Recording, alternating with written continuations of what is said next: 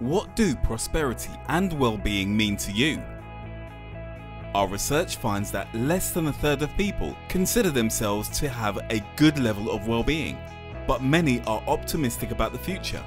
How can we create possibilities, build support networks and boost well-being for millions across the globe? Introducing the Global Wellbeing Index.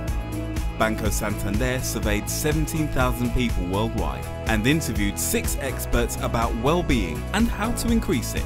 The index shows that the meaning of well-being is evolving. Financial security is important, especially during a cost of living crisis. But people increasingly value work life balance, connection with loved ones, and mental and physical health. And the definition of well being changes according to where we live, in how old we are, as well as our income, our gender, and who we live with. Banks, governments, and employers play crucial roles in our well being. And the power to create purposeful employment, connections with others, financial opportunities, and a brighter future is in their hands.